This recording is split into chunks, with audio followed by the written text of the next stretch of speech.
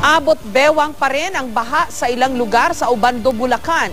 Sanay ng araw ang mga Bulakenyo sa baha, kaya marami sa kanila para paraan sa pagdiskarte para mairaos ang buhay. Live mula excuse me, sa Mekawayan, Bulacan, may report si Bam Alegre. Bam, Jessica, sa, sa, sa kasalukuyan ay nakasailalim pa rin sa state of calamity ang Hagonoy, Obando at limang barangay sa Kalumpit. Pero dito tayo sa May Kawayan, Bulacan, nakatutok ng tatlong araw. Sasabihin ko sana sa iyo na umuhupa na yung baha dito sa MacArthur Highway at mabuti na yung panahon pero bigla na naman bumuhos ang ulan. Gayunman, nasaksihan natin yung pananaw ng mga taga rito na tila ba pangkaraniwan sa kanila ang pagbaha at nakasanayan na nila ito. Narito ang ulat. Sa gitna ng kalamidad, laging lumulutang ang malasakit, bayanihan, at diskarte ng mga Pinoy.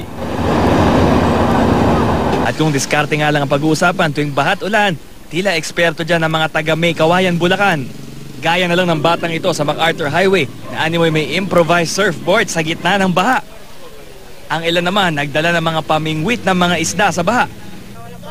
Wala namang magawa ang ilan kundi kumayod sa gitna ng baha kahit may banta ng alipunga, padyak pa rin ang mga pedicab driver. Maging ang ilang pedicab, double decker na. may ginagawa doon, di pa nila na, naka-stop eh. Dapat kung ginawa nila, hindi masyado magsasalubong ang tubig eh. Naka-stop ang gawa ng mega dike yun, di ba? Mega dike. Kung magtitis talaga kami second floor para makarating sa pupuntahan. Ang ilang mga stranded, padungaw-dungaw na lang sa baba. Di na kayo makakarating doon sa pupuntahan nyo kasi mataas na yung baha sa MacArthur Highway. Taon-taon ganito, sanay ka na ba? Ako hindi ako sanay. 12 years na hindi ako sanay siya. Ang sinisisi ng lokal na pamahalaan, basura. Ah, taas namin ng kalsada. Pero hindi pa rin talaga malulunasan kahit itaas namin ng kalsada.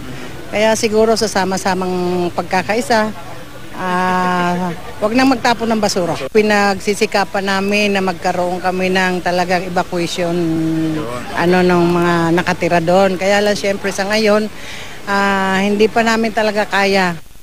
Sa Obando, Bulacan, abot bewang pa rin ang baha sa ilang lugar dahil sa high tide. Kahit naman lubog sa baha, bukas na ang karamihan sa mga negosyo. Aabot naman sa 200 pamilya ang nasa evacuation centers. Nitong lunes pa isinailalim sa state of calamity ang Obando dahil apektado ng baha ang lahat ng labing isang barangay roon. pagkasunduan po na mag-declare na kami ng state of calamity para mas mabilis kami makaresponde. Wala na rin makabiyahe sa amin para lumabas at bumili ng, ng mga pangangailangan nila.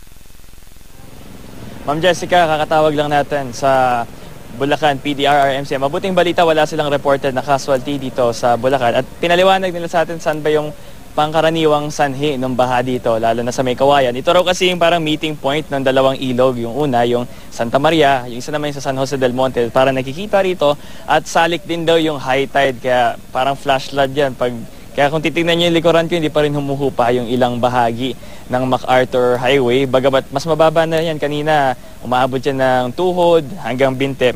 At tinanong natin sila kung ano ba yung maaaring solusyon para matigil na yung ganitong pagbaha tuwing umuulan para hindi na masanay yung mga residente. Eh, ang kanilang recommendation sa PDRMC, pag-uusap daw ng pati ng lokal na pamahalaan, eh, dredging daw talaga dito sa malapit, kalapit na ilog ng May Kawayan. Jessica? alam mo yun ang tamang ah, perspective o tamang ah, ah, handling o management nitong sitwasyon ngayon ano? Kasi ah, bagamat marami sa ating mga kababayan eh ah, sanay na no? Sanay na na mabaha magkaalipunga ah, sanay nang tumuntong sa baha yung mga bata lumalangoy.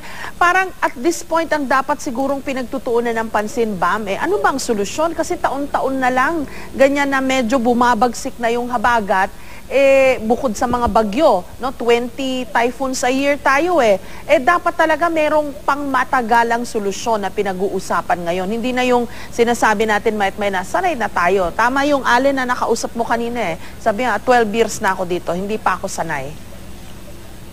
Lagi natin na ipapakita yung mga tao na ganito, yung diskarte nila, pagbaha. Pero, oo, nandyan na tayo, madiskarte ang mga Pilipino. Pero, hindi naman talaga dapat natin to nararanasan kung maayos ang koordinasyon ng lahat ng mga stakeholders. At dito, sa mismong Bulacan, ang pinag-uusapan nilang long-term planning, eh, masyado talaga nakahalik yung river sa ilang mga pamayanan dito. Yung mga nabisita nating mga barangay dito sa May Kawayan, katulad ng Bayugo, Longos at ng Samoray, talagang dikit na dikit sa ilog. At kung titignan nyo, eh, parang seamless yung fish pond, yung ilog at yung pamayanan. So dapat unahin natin yung mga pamayanan dun malapit sa mga ilog at may mga dike din daw na sinasabi ng mga residente na nasisira at syempre pag nagpapakawala ng dam. Ito kasi kailangan maintindihan ng mga tao na itong Bulacan, eh, daluyan to ng mga tubig na nilalabas ng mga dam mula sa Hilagang Luzon. Kaya ito yung mga salik na dapat nating pag-aralan, Oh, Jessica. long-term solution ang kailangan. Bagamat may mga lugar talaga na katulad ng Bulacan na